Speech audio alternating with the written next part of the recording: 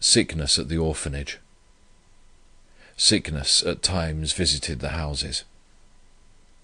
During the summer and autumn of 1866 we had also the measles at all the three Orphan Houses. After they had made their appearance, our especial prayer was, 1.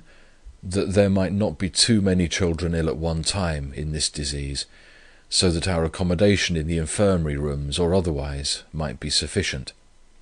This prayer was answered to the full, for although we had at the New Orphan House No. 1 not less than 83 cases, in No. 2 altogether 111, and in No. 3 altogether 68, yet God so graciously was pleased to listen to our supplications, as that when our spare rooms were filled with the invalids, He so long stayed the spreading of the measles till a sufficient number were restored so as to make room for others who were taken ill. 2.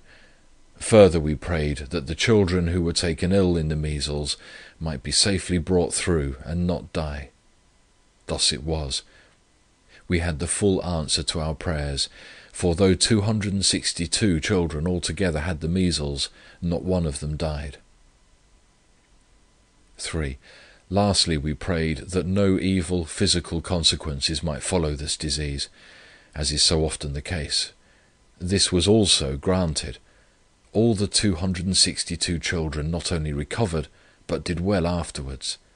I gratefully record this signal mercy and blessing of God, and this full and precious answer to prayer, to the honour of His name.